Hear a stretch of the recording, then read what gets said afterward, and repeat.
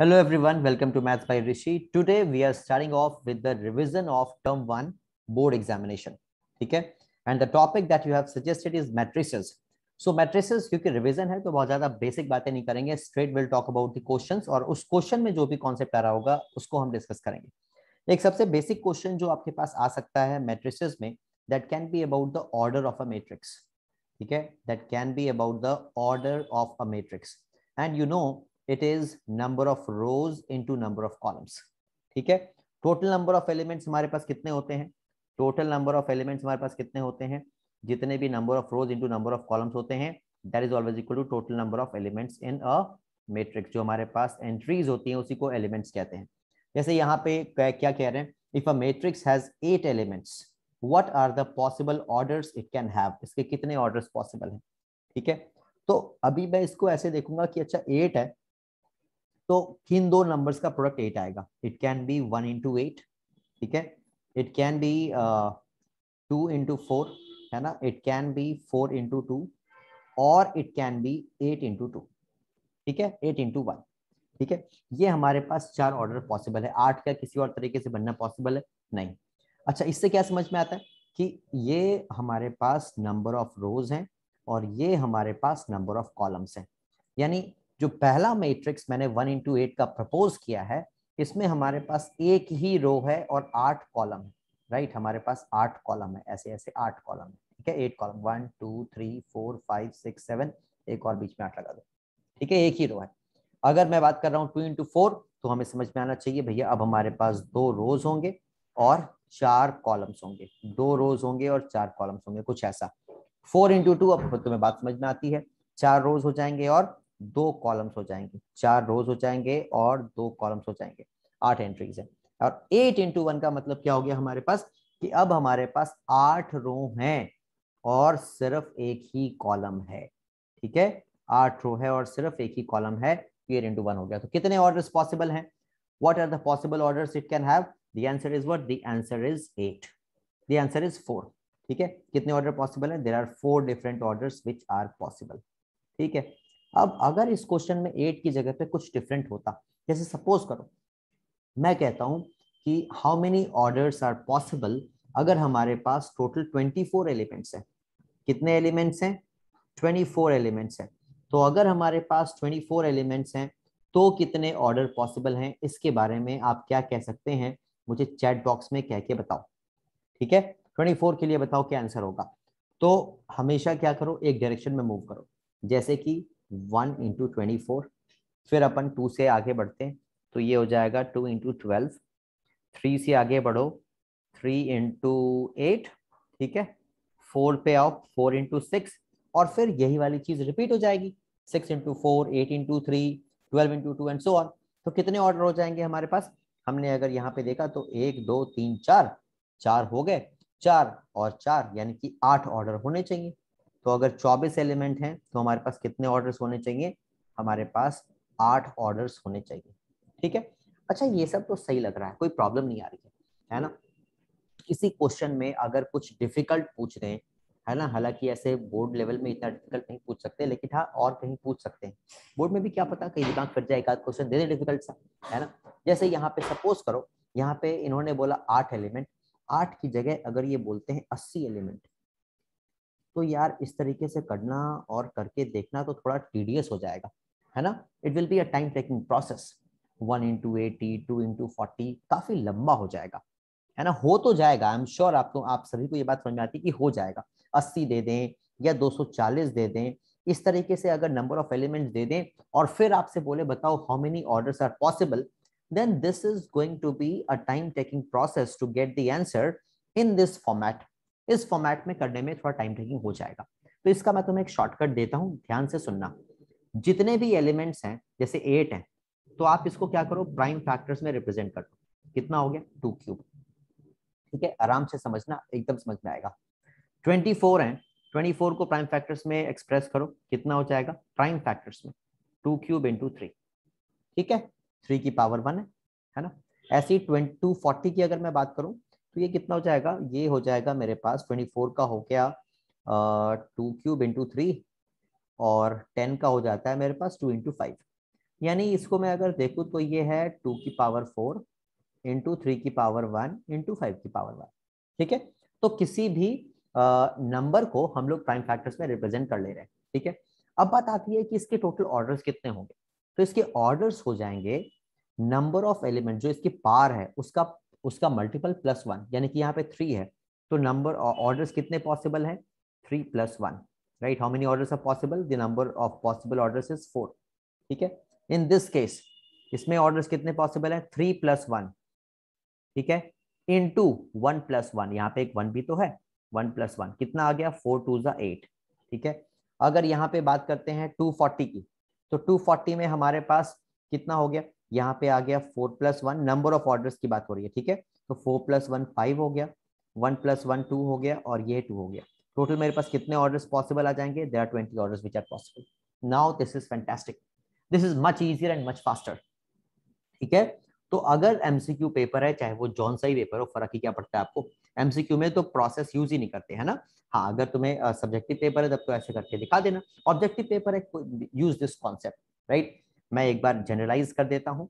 कोई भी जो नंबर ऑफ़ एलिमेंट्स हैं राइट जो भी आपके नंबर ऑफ़ एलिमेंट्स हैं, आप उसको प्राइम फैक्टर्स में रिप्रेजेंट करोगे। सपोज़ करो टू की पावर ए थ्री की पावर बी फाइव की पावर सी सेवन की power d and so on total number of factors हमेशा कितने होंगे? A plus one into b plus one into c plus one into d plus one that is all ठीक है?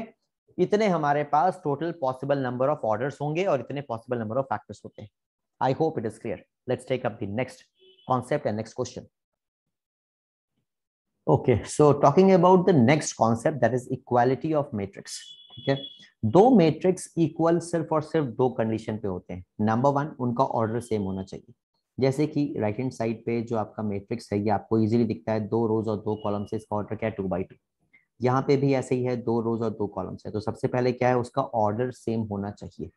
ठीक है? Number one number two उसके जो corresponding elements हैं, वो एग्जैक्टली सेम होने चाहिए। First row first column two a plus b that should be equal to four ठीक है? First row second column a minus 2b that has to be equal to minus 3 and so on. ठीक है? यहाँ से हम इसको equate करेंगे और ए बी सी डी की वैल्यू निकाल देंगे। अगर ये इक्वल मैट्रिक्स है तो। ठीक है? आओ चलो, एक इजी सा क्वेश्चन है। मैं इसको करने की कोशिश करता हूँ। तो पहली इक्वेशन आपके पास ये आ जाएगी। और अगर मैं फ़र्स्ट रो सेकेंड कॉलम वाले एलिमेंट को लेता हूँ तो ये मेरे पास आ गया a minus two b is equal to minus three ठीक है?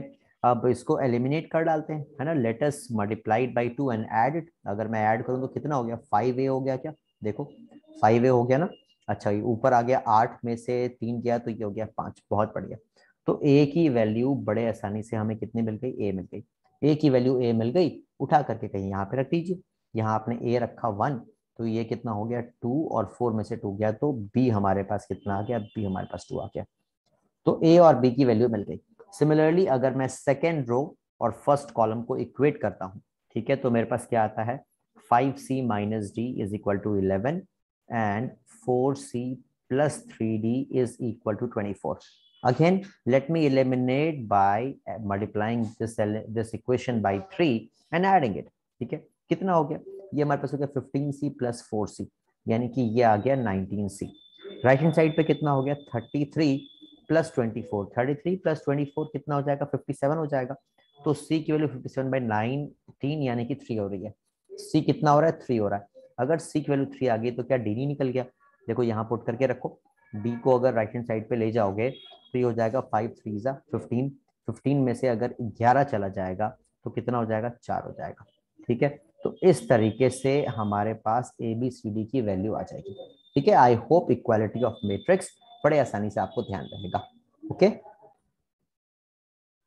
okay now we are discussing the properties और ऑपरेशंस ऑन मैट्रिसेस ठीक है? हम क्या डिस्कस कर रहे हैं? ऑपरेशंस ऑन मैट्रिसेस जो हमारे पास डिफरेंट ऑपरेशंस हैं मैट्रिसेस पे, उसको डिस्कस कर रहे हैं। ठीक है? तो जो सबसे बेसिक आपके पास ऑपरेशन है that is sum and difference यानी कि सब्सट्रैक्शन तो इसमें क्या है? कि जिसको भी हम ऐड या सब्सट्रैक्ट कर रहे हैं, उनका ऑर्डर सेम होना चाहिए और रिस्पेक्टिव एलिमेंट्स को हम लोग सबको ऐड कर देते हैं। रिस्पेक्टिव एलिमेंट्स को या कह लो कॉरेस्पॉन्डिंग एलिमेंट्स को ऐड कर देंगे। अगर ऐड करने को दिया गया है सब्सट्रैक्ट कर देंगे तो सब्सट्रैक्ट करने को दिया गया है। ठीक है? That is one thing second हमारे पास होता है स्केलर मल्टीप्लीकेशन ठीक है? स्केलर मल्टीप्लीकेशन या फिर आप ये कह लो multiplication by a scalar let's put it this way ठीक है? Multiplication by a scalar scalar का मतलब क्या है तुम्हारे पास? स्केलर का मतलब है तुम्हारे पास multiplication by a scalar scalar का मतलब है कि आपने किसी भी रियल नंबर से उसको मल्टीप्लाई किया है, ठीक है? फॉर एग्ज़ाम्पल हमारे पास एक मैट्रिक्स है, कुछ ऐसा। One two three minus two three और फोर मैंने रैंडमली एक एग्ज़ाम्पल लिया, ठीक है? और हमसे बोला गया कि बताओ थ्री टाइम्स ए कितना होगा? तो अब ये क्या है? इसी को बोलते हैं मल्टीप्लीकेशन बाय स्केलर हमने थ्री से इस मैट्रिक्स को मल्टीप्लाई किया। तो क्या होगा? ये जो थ्री है ना, ये सारे एलिमेंट में मल्टीप्लाई हो जाएगा। थ्री ए कितना हो जाएगा? थ्री वन ज़ा थ्री थ्री टू ज़ा सिक्स थ्री थ्री ज़ा नाइन ये हो जाएगा माइनस सिक्स ये हो जाएगा नाइन और ये हो जाएगा ट्वेल्व ठीक है? ये कितना? ये माइनस सिक्स है। ओके तो ये स्केलर मल्टीप्लीकेशन है। अब यहाँ पे जो क्वेश्चन हमारे पास है, इसमें हमें ये बताना है कि मैट्रिक्स मल्टीप्लीकेशन ठीक है? तो देखो मैट्रिक्स मल्टीप्लीकेशन थोड़ा सा बेहतर है। जैसे बोल रहे हैं कि show that A B C is equal to A B C अरे, क्या मतलब है? देखो ब्रैकेट में तुम्हें पता है कि ब्रैकेट का मतलब होता है कि उसको प्रायोरिटी देनी है। यहाँ पे हमारे को पहले ए और बी को मल्टीप्लाई करेंगे। जो रिजल्टेंट आएगा, उसको सी से मल्टीप्लाई करेंगे। Whereas in the R H S हम पहले बी को सी से मल्टीप्लाई करेंगे और जो रिजल्टेंट बी और सी का आएगा, उसको ए से मल्टीप्लाई करेंगे। ठीक है? ध्यान रखना मैट्रिक्स मल्टीप्लीकेशन में ऑर्डर बहुत ज़्यादा मैटर करता है। ऑर्डर बहुत ज़्यादा मैटर करता है। यानी अगर हमारे पास ए इंटू बी दे रखा है तो ये कोई ज़रूरी नहीं है कि ये बी इंटू ए के बराबर होगा। ठीक है? ध्यान रखिएगा मैट्रिक्स है, ये अरेंजमेंट है, ये रियल नंबर्स का मल्टीप्लीकेशन नहीं है, ये दो अरेंजमेंट्स का मल्टीप्लीकेशन है। ठीक है? तो इन छोटी छोटी बातों को ध्यान रखना है ऑर्डर को तुम अपने आप से चेंज नहीं कर सकते। On the on the other side determinant में कर सकते हैं, क्योंकि डिटर्मिनेंट क्या है, वहाँ वैल्यूज़ है। बल्कि यहाँ पे क्या ये अरेंजमेंट्स है? तो अरेंजमेंट में ऑर्डर इज़ इंपॉर्टेंट अरेंजमेंट का मतलब ही ऑर्डर ठीक है? The order would be changed if you change the multiplication order ठीक है? हालाँकि एडिशन सब्सट्रैक्शन एडिशन में कोई फ़र्क नहीं पड़ेगा बट सब्सट्रैक्शन में अगेन फ़र्क पड़ जाएगा, ठीक है? So the order is very very important आओ चलो, इस एग्ज़ाम्पल की हेल्प से हम मैट्रिक्स मल्टीप्लिकेशन पे थोड़ी बात अच्छी से कर लेंगे और इसको डिस्कस भी कर लेते हैं। ए की अगर मैं बात करूँ तो इसका ऑर्डर कितना है? Three by three three rows हैं और थ्री कॉलम्स हैं।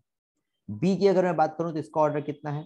Three rows and two columns तो जब मैं कभी भी ए इंटू बी करूँगा तो हमें समझ में आना चाहिए कि ये जो मैट्रिक्स मिलेगा राइट दो मैट्रिक्स मल्टीप्लिकेशन तभी पॉसिबल है अगर जो फ़र्स्ट है, उसका जो हमारे पास नंबर ऑफ़ कॉलम है, वो दूसरे के नंबर ऑफ़ रोज के बराबर होना चाहिए।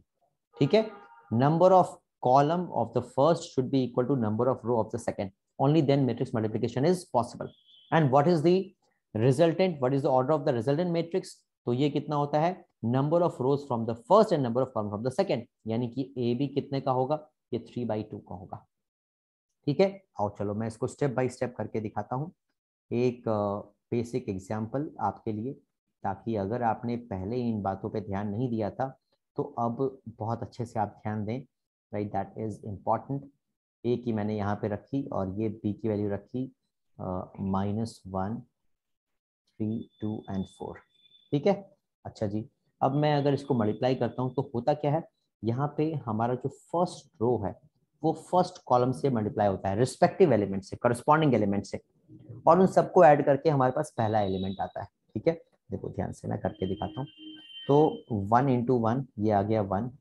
One into zero, right, ये वाला एलिमेंट इससे मल्टीप्लाई होगा। वन इंटू ज़ीरो, कितना आ गया भाई? ये आ गया zero.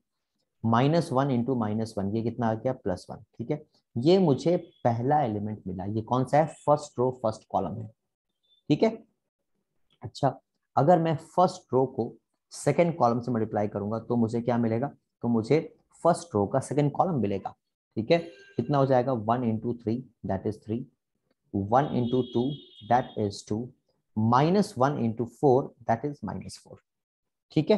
अच्छा जी, अगर मैं सेकेंड रो पे आऊँगा तो सेकेंड रो को फ़र्स्ट कॉलम से मल्टीप्लाई करूँगा तो यहाँ मुझे सेकेंड रो और फ़र्स्ट कॉलम मिलेगा। Two into one okay zero into zero fine three into minus one is minus three ठीक है? सिमिलरली सेकेंड रो को सेकेंड कॉलम से करेंगे तो मुझे सेकेंड रो और सेकेंड कॉलम का एलिमेंट मिलेगा। कितना हो जाएगा? टू थ्री ज़ा six zero into two is zero and three four ज़ा ट्वेल्व ठीक है?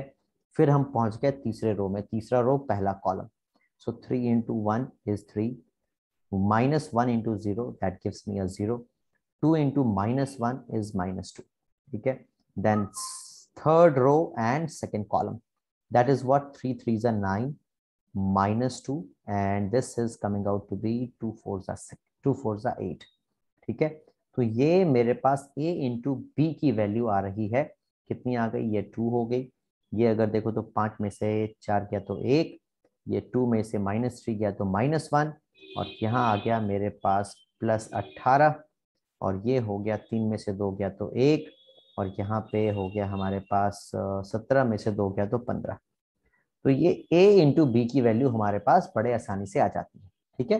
मैं उम्मीद करता हूँ आप इस बात को समझ पा रहे हैं। अगर मैं LHS की बात करूँ तो अब ये क्या बोल रहे हैं? LHS में ये कह रहे थे, अब मैं यहाँ पे लिखूँगा LHS ठीक है? हालाँकि एमसीक्यू पेपर है, कोई टेंशन नहीं लेनी है। ए बी जो भी रिजल्टेंट है, उसको सी से मल्टीप्लाई करना तो ठीक है ए बी का रिज़ल्ट हमने निकाल लिया। कितना है? This is two minus one one one eighteen and fifteen what is the three by two three rows and two columns ठीक है? ए बी अच्छा सी को देखे जरा। सी क्या है हमारे पास? टू बाई थ्री है। टू बाई थ्री है। ये कितना है भाई? ना ना ना टू बाई थ्री नहीं है। टू बाई फोर है। ओहो। ये फ़ोन ले जाओ बेटा। टू बाई फोर है। तो ये आ गया one two three and minus four और ये आ गया मेरे पास two zero minus two and one इसका ऑर्डर कितना है? Two rows and four columns तो सबसे पहले तो हमें ये समझ में आना चाहिए कि जो रिजल्टेंट आएगा इसका क्या ऑर्डर होगा? देखो इसके आगे की कैलकुलेशन मैं यहाँ कर रहा हूँ ठीक है? यहाँ पे कर रहा हूँ ध्यान से देखना। ऑल राइट तो मुझे इसका रिजल्टेंट चाहिए। तो रिजल्टेंट कैसे आएगा भाई? रिजल्टेंट मैं देख रहा हूँ थ्री बाई टू और टू बाई फोर तो ठीक है, पहले का नंबर ऑफ़ कॉलम और दूसरे का नंबर ऑफ़ रो तो बराबर है। तो अब क्या करना है हमें? हमें ये देखना है कि रिजल्टेंट का ऑर्डर क्या होगा? ये हो जाएगा three by four right there would be three rows and there would be four columns resultant तो भैया थ्री बाई फोर का होगा। ठीक है? आओ रिज़ल्ट रिलैक्स होकर के देखेंगे। कैसे देखेंगे भाई? Two into one and one into two कितना हो गया? टू प्लस टू फोर हो गया। ठीक है? अच्छा। First row second column two into two four one into zero zero यानी कि फोर रह गया। ठीक है? Okay third first row and third column तो टू थ्री ज़ा सिक्स और one into minus two this तो में से माइनस दो किया तो कितना हो गया? प्लस चार। ठीक है? ओके बहुत बढ़िया। इधर आ गए तो ये हो गया माइनस आठ राइट माइनस आठ और इंटू वन कितना रह गया? माइनस सात रह गया। ठीक है? इस तरीके से हमें फ़र्स्ट रो में सब कुछ पता लग गया। फ़र्स्ट रो में चार कॉलम हमारे पास पता लग गया चार एलिमेंट पता लग गए। अब सेकेंड रो में जब आएँगे तो क्या करेंगे? सेकेंड रो को रिस्पेक्टिव कॉलम से मल्टीप्लाई करते जाएँगे। ठीक है? One into minus one and eighteen two जा थर्टी सिक्स तो छत्तीस और माइनस एक अगर घटाएँगे तो हो जाएगा कितना? पैंतीस। ठीक है? Similarly minus one into two minus two हो गया और ये ज़ीरो हो गया। तो ये कितना मिला मुझे? माइनस टू मिला, ठीक है? यहाँ देखा तो मेरे पास कितना आ गया? माइनस थ्री एंड माइनस छत्तीस।